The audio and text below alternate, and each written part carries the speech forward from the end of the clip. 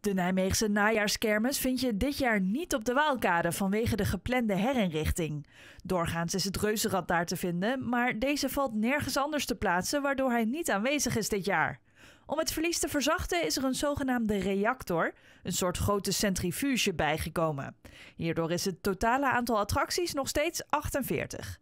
Tijdens het inplannen van de kermis werd aangenomen dat er al gebouwd zou worden op de Waalkade, waardoor er geen attracties zouden kunnen staan.